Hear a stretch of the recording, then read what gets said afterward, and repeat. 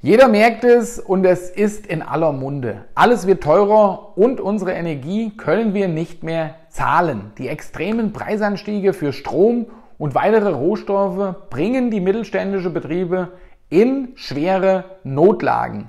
Was ist die Folge daraus? Mehr im heutigen Video. Die massive Verteuerung der Energie hat schwere Folgen für die deutsche Industrie. Die Produktion wird immer teurer und die Betriebe können die enorme Mehrbelastung nicht auf die Verbraucher umlegen, was uns in einigen Fällen freut, aber auf Dauer uns natürlich auch wieder schadet. Und daher gibt es leider nur zwei Möglichkeiten.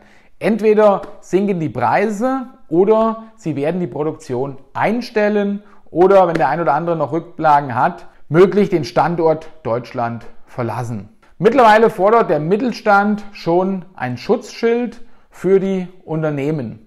Es sei analog zur Corona-Pandemie ein Härtefallfonds für Unternehmen notwendig, die besonders vom Energiepreis gebeutelt und international nicht mehr wettbewerbsfähig seien. Ja, und das Problem sind für sehr viele existenzbedrohend. Natürlich und völlig nachvollziehbar die Sorge Nummer eins. Die zukünftigen Preissteigerungen sind Kosten, welche unkalkulierbar sind. Ja, und die immer weiter steigenden Energiepreise hält auch die stärkste Volkswirtschaft nicht aus. Die Stimmung im Mittelstand ist katastrophal. Und die Kombination aus hohen Rohstoffpreisen, aus stockenden Logistikketten, aus mangelnden Rohstoffen, den hohen Energiepreisen und der Erhöhung der Mindestlöhne ist eine extreme Mischung, die den Mittelstand weiterhin sehr zu schaffen macht.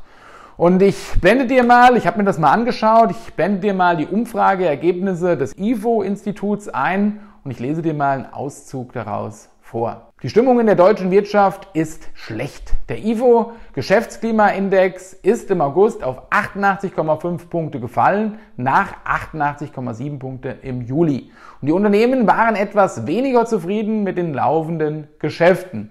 Der Ausblick auf die kommenden Monate blieb nahezu unverändert deutlich pessimistisch. Und die Unsicherheit unter den Unternehmen bleibt sehr hoch.